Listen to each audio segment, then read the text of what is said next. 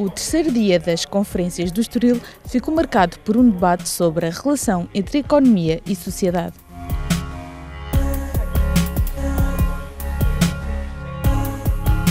Gunter Pauli defende um novo modelo de negócio baseado na inovação, competitividade, emprego e criação de valor. Para mim, a economia do mar é, é uma repoblação, repoblação do mar com peixes. E este somente podemos fazer se não pescamos mais com redes, as mais peixes com ovos. Essa é uma coisa tão é, é simples, mas não fazemos, porque temos um modelo de negócio velho. E, e, e essa é a grande mudança que precisamos.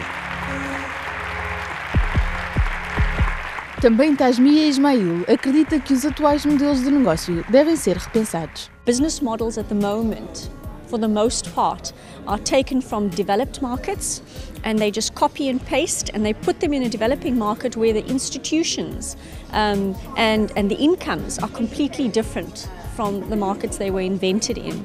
So it's going to become more and more important in order for development to happen that we use contextually relevant business models, that we start from scratch, um, and that we think about making them, um, uh, co creating them. That's a lovely word to use, is co creating them with the people that we want to serve, and that we not serve only the agenda um, of the company that is working there.